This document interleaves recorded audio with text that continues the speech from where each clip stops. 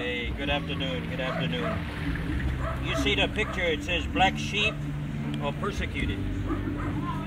Was Jesus or St. Paul a black sheep or were they persecuted? That's an interesting subject if you think about it. I've only seen one black sheep in my life at the county fair. But uh, black sheeps are real. All the millions and millions of real sheep are white.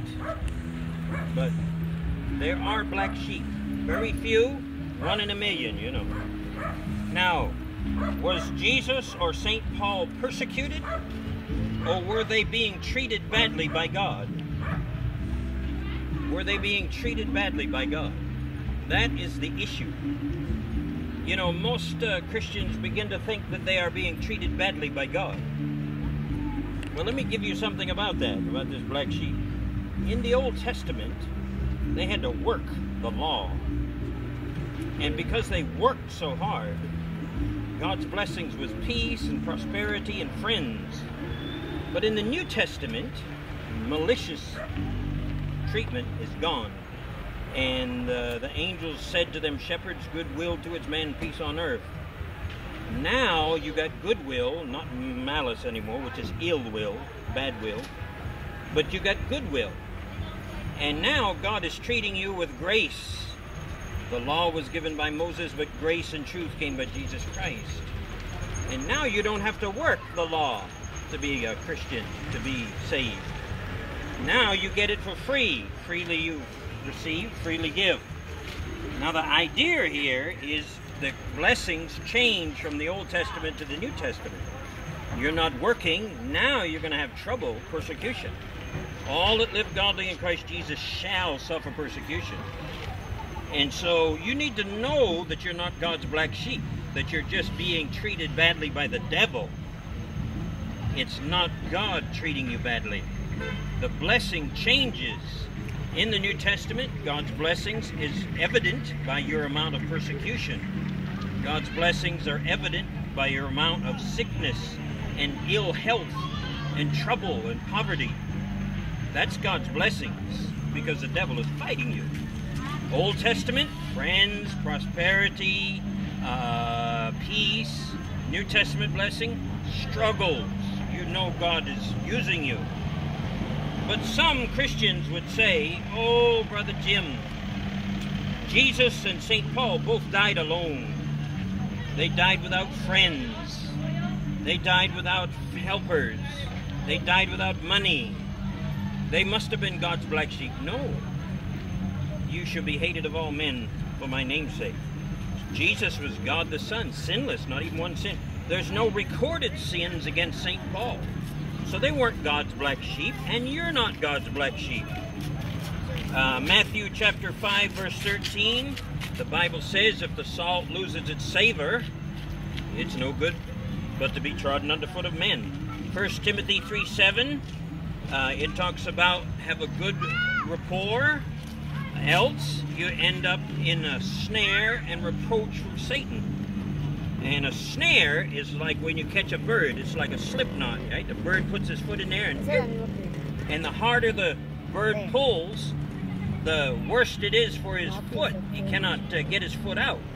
And so you can get in Satan's snare. You think Satan was uh, had Jesus in his snare? Do you? You think Paul was in Satan's snare? Um, 1 Corinthians 9.27, he says, I keep my body under, lest being a castaway after I've preached to others. Mark 8.36, he that saveth his life shall lose it. And uh, what shall it profit a man if he gain the whole world and lose his soul? What shall profit a man if he gain the whole world and lose his soul?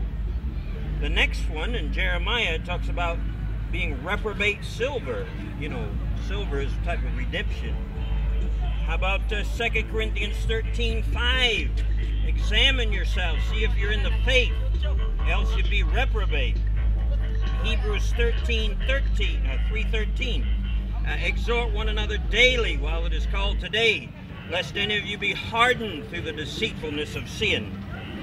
Uh, exhort one another daily while it is called today, lest any of you be hardened through the deceitfulness of sin. Obadiah 1.3 talks about the pride of thine heart hath deceived thee. And so I want to ask you a question. Was Jesus deceived? Was he being trodden underfoot or in a snare from Satan? Or was Jesus the castaway? Did, did Paul lose his own soul or become a reprobate, silver, or hardened heart? Uh, like Lot's wife, you know, he turned back. And uh, that's the tragedy of most Christians today who never went to the mission field. They uh, they could have God's blessings. Whoso hearkeneth unto me shall dwell safely and shall be quiet from fear of evil. But instead of being blessed, they're going to have to be blasted out of their easy chair from their remote and their sandwiches and their Pepsi Colas. And they're going to have to be blasted out there to give the gospel that they know they're supposed to be giving. The, has the pride of thine heart deceived Paul and Jesus? No. In Luke 21, verses 17 and on, and you shall be hated of all men. Why? For my name's sake. Not because of you, there's a story of Noah back there, and I believe he built the ark probably big enough for all the people that were alive. You think about it. But did those people get on that ark? No.